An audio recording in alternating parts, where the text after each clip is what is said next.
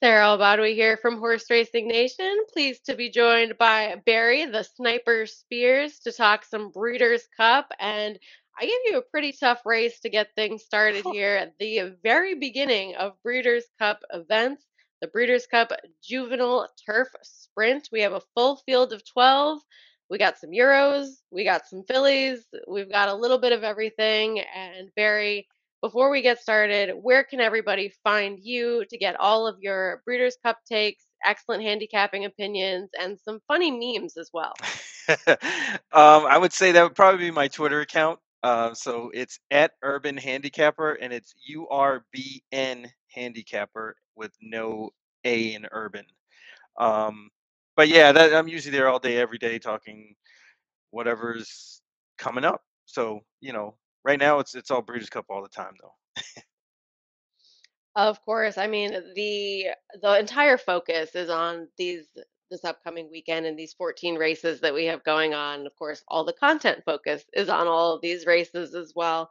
Um, the morning lines are out, and we do have a very slight favorite all the way to the outside in the Platinum Queen coming over from Europe. How do you feel about the post draw for these horses? Is it changing your opinion on anybody at all in this field of 12? Yeah, definitely the Platinum Queen, who you just uh, alluded to. Definitely her her post position will most assuredly hurt her chances because you know inside of her is a lot of speed.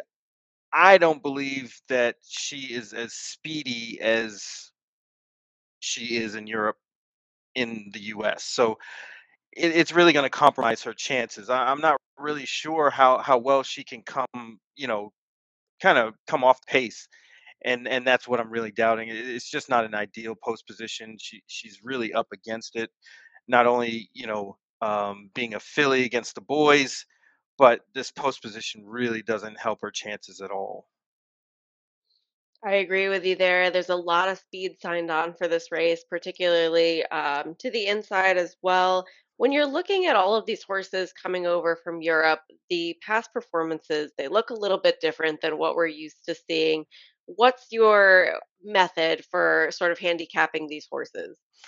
Um, typically, I, I really do a lot of replay work on all the Euro horses um, because they, you know, the way that we get past performances from Europe over here, there really isn't much to go on as far as comments, things like that. So it, it's better seeing than than reading. I agree. I watched, I want to say almost everyone's entire career for this race um, Yeah, good thing over. not many. Um, You know, not not yes. many, not too many starts per horse, but yeah, I, I mean, there's enough of them out there, and, and and a lot of these European horses have been running against each other at one point. So, you know, I, I like to key in on those replays specifically where they they have some common opponents here that they're running against um, on Friday. But man, this is a tough race. Yeah, um, and we haven't even gotten yet to a mention for the undefeated five for five Tyler's Tribe, who's uh, Iowa bred, coming in from Prairie Meadows, trying the turf for the first time. What's up with this? Yeah, there's two horses. I mean, Tyler's Tribe and Speedboat Beach. It's like, what do you do with these horses? I mean, they're complete speedballs, and I don't like either of them on the turf. Even though Speedboat Beach has won, I still don't think that that's his preferred or best surface. Um, you know, and and, and I kind of think they might be trying to get out of the way of Cave Rock and go to this spot. That being said, the horse has talent, can win on the turf, but I, I just don't want any part of that horse at a short price. Bob Baffert isn't you know, known for being a turf trainer. Not that he can't do it, um, because he's had some turf horses in the past, but it's just not his thing. It's kind of a strange situation, and I think I came up with the only conclusion that you offered as well of just trying to duck Cave Rock uh, for the same connections because to debut at Del Mar and set a new track record with a 104 Beyer, uh, you don't really see them switch surfaces to the turf. His figures regressed um, significantly from that triple digit on debut. Uh, I mean, uh, it certainly can win, but why are we here? Yeah, I, I it's such a mystery to me. I mean, this horse is fast. I guess they they wanted to compete, but just didn't want to compete against Cave Rock, which I understand. Right. Uh, if you're gonna duck, it, it makes sense. Um, going to, I guess, in a way, the local hopeful. It's a Wesley Ward trainee. Love Reigns. She has raced over in Ascot. She's four to one on the morning line. This horse is, no matter which way you slice it, going to be a short price has some early speed. Didn't out of the gate as quickly as we're used to seeing from those Wesley Ward two year olds on debut, but then did end up absolutely romping at Keeneland. Uh, then came back and won up at Saratoga over foes that then went on to uh, run one two in another stakes race at um, Belmont at the Big A. What do we do with this horse? Um, she's she's probably the most formidable American horse. Um, but she has a lot of speed, and there's a lot of speed signed on here. Uh, you know, I, I obviously don't think everybody is is going to be lined up. There, there's some that are uh, maybe a, a tad bit slower, like a horse like, let's say, Oxymore, uh, who's shown a lot of ones in their past performances. But I don't think that horse is going to get the lead or, or be close up. Um, Tyler's Tribe only knows one way. I, I mean, this this horse really hasn't even been challenged at all early. Uh, Speedboat Beach is another one who who just goes. He's fast. He's super fast. Um, so I expect a really heated pace here, um, and it just all depends on, on the trip, and and it could end up being kind of like a rider's race, uh, especially when when you have to coming in and out of traffic or you know trying to circle horses, things like that. You got to pick a spot and, and go for it. So we'll see, but um, I just don't think it's going to be like a, a, a wire to wire kind of thing where one horse just kind of bolts out, and, you know, almost like Golden Pal, where he gets out there and nobody can pass him. He's just too fast. I, I don't think that's going to happen in this race. I, I, think there's some some decent closers, especially the Euros. Um, besides uh, the outside one uh, in the Platinum Queen, I think they all have some late kick that should be really really effective in a race like this. And with that said, is that kind of the profile that you're looking for for a top pick or which horses you're interested in in this spot? Um, I want to see somebody that can lay close enough to the pace without getting too far behind and and finish strong. And and I I think I found one in this race. Oh, you want to know who it is? Your secrets. Oh, okay, all right. I'll tell you. I'll tell you. It was uh, it's Magic Mischief, the five, or Mis- Mischief Okay. Magic. I'm sorry. Um, yeah, I, I looked at this horse's races. He's gotten better every single time. Um, and what really stood out to me was his race on August 13th at Newmarket in the Novice Stakes. He really the the race was going uh, counterclockwise like we run here, and it looked like an American race the way he won it.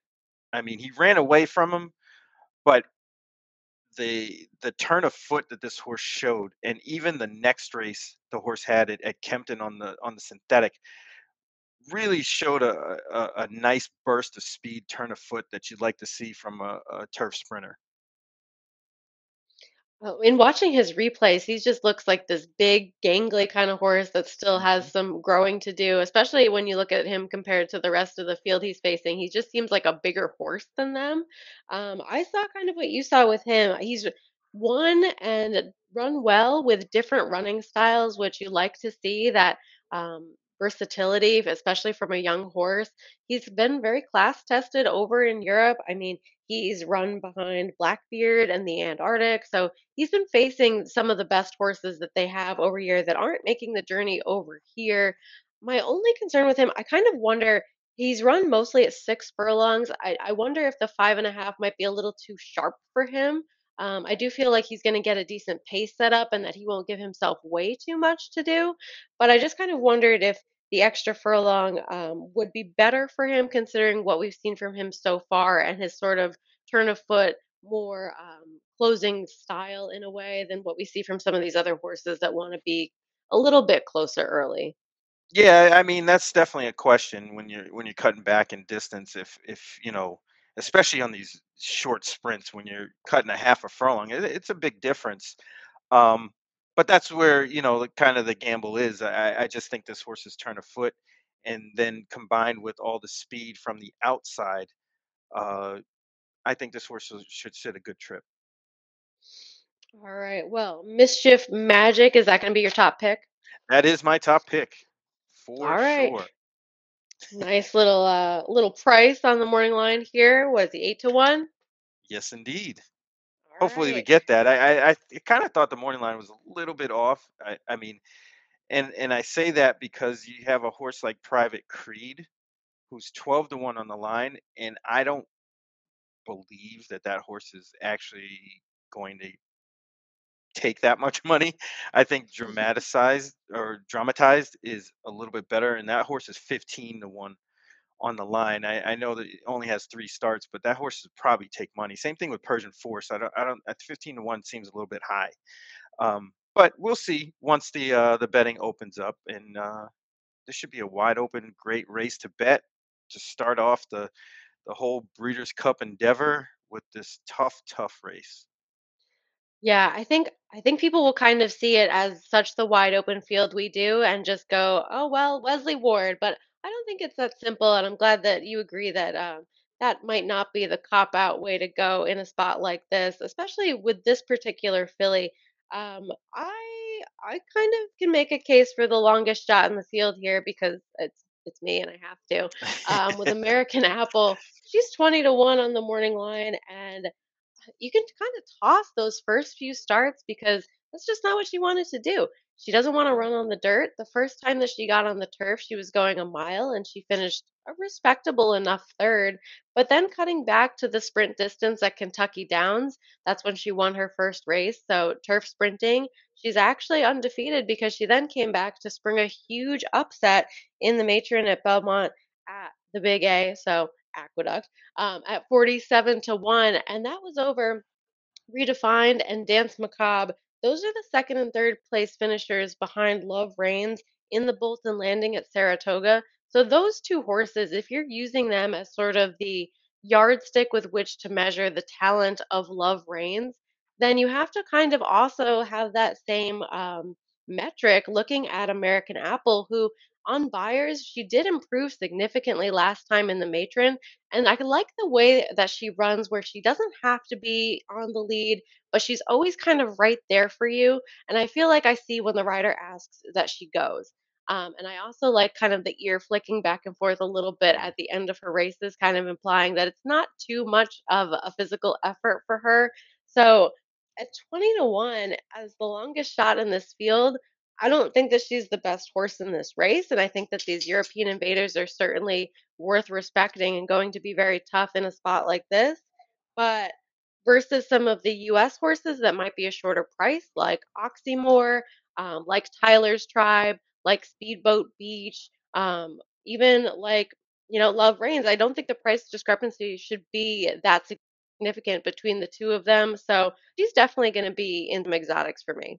Yeah, I, I mean, this is this is almost kind of like a horse that you you know really want to to really run well because this steadily improved. I mean, every time out just got better. And then that last race, the matron, fits with this group completely. It's it's just a matter of trip at you know, and if you you want to basically take a shot with that horse at a big price, you, you kind of have to. You know what I mean? Like y- any kind of vertical or horizontal situation, you have to use a horse like that because you know the the numbers fit. This horse is on the improve, and the price is going to be right. I mean, those are like the three things that you look for in in a horse that you want to bet. Um, I, I got no problem with that. You know, I mean, even cutting the, the this to five and a half might even do this horse a, a little bit of good. Um, so yeah, I, I'm with you. That that's a definitely a live long shot in this race. It's the kind of race to look for those. Is there anyone else within this field that deserves a mention, uh, maybe an honorable mention as one you would want to toss in somewhere, or anybody that we haven't talked about that you think we should? Uh, yes, sharp as a tack was one that I I thought ran really really well every time out. Um, kind of regressed a little bit, um, but I I think this horse has a lot of talent and doesn't necessarily need the lead, and I think that that was proven on that Kentucky Downs race on September 8th, um, where he he wasn't really the pace setter. He kind of prompted the pace and and and kind of pushed the the the effort, um, and just got beat late. I mean, it, wasn't a, a, a a bad race or anything, and and Private Creed came flying and and beat this horse late. So I can forgive that, especially going into this race. If that was a prep for this race, it, it's it's probably one of the best preps you could ever get.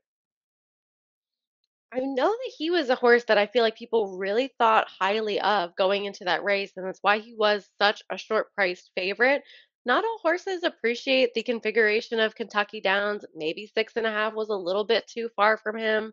You know that he's going to be involved and right there early. I got no problem with this horse either. Yeah, I, I mean, it it just screams like that Juvie sprint at at Kentucky Downs was a prep for this race, and and it might very well be. Um, 15 to one on the line. You know, you, you know how I like to to avoid chalk at all costs. So, you know, this was right in my alley. Same thing with American Apple. So, you know, for me, it's going to be a lot of decision making when it comes down to actually making a bet here. Um, who I like behind Mischief Magic, and those are two that are really on my radar. I, I want to blow up the tote board first race, no doubt, Want to start the Breeders' Cup off strong because bang. There's some chalk later that's going to be tough to beat throughout these 14 races. So I think this is this is the race where you want to find those prices and make sure that you're playing them as effectively as you can. Is there anyone that's a toss? You know what? I, I don't want to say this, but I think I'm gonna. I think Platinum, the Platinum Queen, is a toss. I, I just don't like her post. I don't like the running style. Just too many things she's up against um, in this race. And if she wins, she'll be proven the best for sure. Um, you know, and, and it's not impossible, uh, but I'm just not going to use her. I think going against any favorite in here, if you can make a case for five, six, seven horses, kind of like we have, that's the play. So I respect. Mm. All right, Barry. Well, thank you for taking the time to talk about this Breeders' Cup Juvenile Turf Sprint. We've got a race covered by a different guest handicapper for each race of Breeders' Cup, and a pleasure to get things started on Breeders' Cup Friday with you. All right, thank you so much for having me. It's it's been a pleasure. You're always good. Uh, you know, I love your stuff, and uh, keep doing your thing. Feeling is mutual. Good luck, everybody, and thanks for tuning in.